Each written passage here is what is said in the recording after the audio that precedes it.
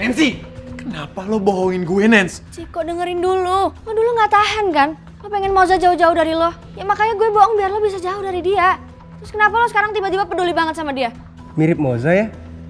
Enggak sih. Menurut gue ini lebih ke Nancy. Moza bukannya emang ada mirip-miripnya ya sama Nancy? Nancy, gue mau nanya tentang Moza. Lo bener adiknya Moza? Kok, kok sorry kok? Eh, ah kok?